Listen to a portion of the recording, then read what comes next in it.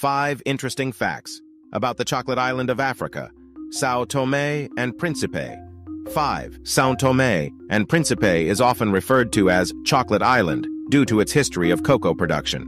The country is known for its high-quality cocoa beans, which are used to make some of the finest chocolates in the world. The cocoa plantations and chocolate factories on the islands are popular attractions for tourists. 4. Volcanic origins. Sao Tome and Principe is of volcanic origin, and the landscapes on both islands are characterized by lush rainforests, dramatic peaks, and rugged coastlines. Pico Cão Grande, a striking volcanic plug on Sao Tome, is one of the most iconic geological formations in the country. 3. Unique biodiversity.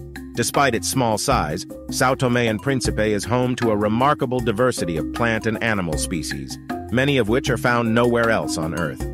The islands are considered a biodiversity hotspot, with numerous endemic species, including birds, reptiles, and plants. 2. Historical role in the slave trade. The islands played a significant role in the transatlantic slave trade during the colonial era. São Tomé and Príncipe were Portuguese colonies, and the Portuguese established large sugar and cocoa plantations using enslaved Africans. Today, you can visit historical sites related to this dark chapter in the island's history. 1. Peaceful independence.